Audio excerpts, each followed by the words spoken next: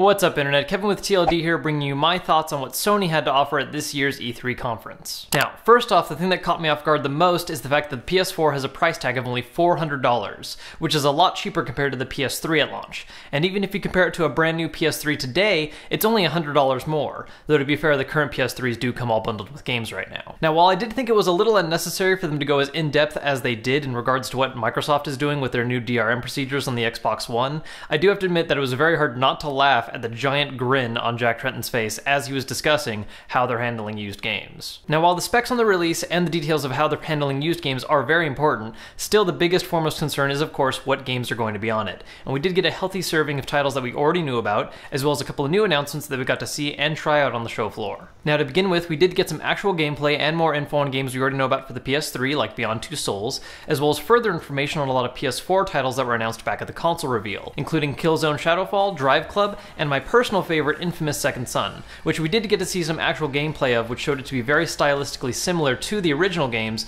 but with a new spin on it with his powers involving smoke and fire instead of electricity. Now, we also got a couple of new games announced for the PS4 that will be exclusive, including The Order, which is a Victorian era steampunk style game where you're fighting werewolves, as well as a new game from Quantic Dream called The Dark Sorcerer, which looks to be a lot more comedy focused as opposed to their usual drama style. Now, what I found interesting about their conference and their floor show is the fact that they emphasized a lot more multi platform games and indie titles rather than their own exclusives. Multi-platform wise, we saw gameplay for games like Watch Dogs, Assassin's Creed 4, NBA 2K14, and we finally got to see some real gameplay of Destiny, instead of just having some vague trailers like before. Now there was also a number of games announced at the Sony conference that will be multi-platform, including the long-awaited reveal of Kingdom Hearts 3, as well as new footage for Final Fantasy Versus 13, which is now being rebranded as 15. We also saw a very misdirecting trailer for Mad Max that looked an awful lot like Fallout, and completely out of nowhere, it was revealed that Elder Scrolls Online will be getting a console release, including an exclusive beta for PS4. On the indie game side of things, we saw a large number of different titles covering a large array of different styles, which is Sony's way of showing they're trying to have a lot more support for the indie game movement and not relying solely on just big name publishers. One title in particular that I was really excited to see, especially because the booth was being run by the actual design team,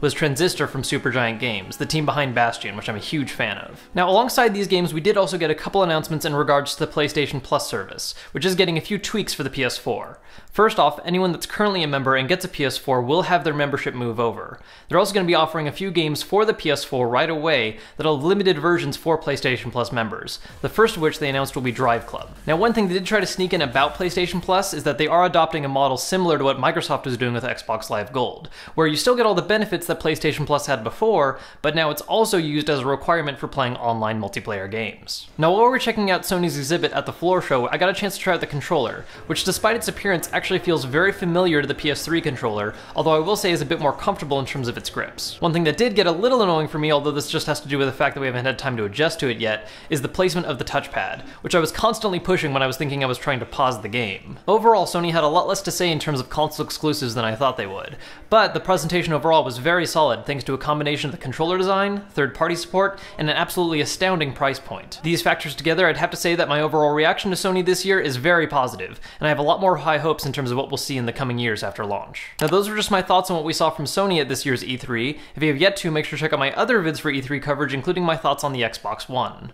If you have yet to do so, please make sure to subscribe to our channel to stay up to date on all of our latest vids, including more E3 coverage like my thoughts on Nintendo, and a comparison of the Xbox One and PS4. As always guys, thank you so much for watching our videos. If you liked this one, please make sure to hit that like button as it is the easiest way to help the channel. I deeply appreciate it. As always, I'm Kevin for TLD, and I'll see you next time.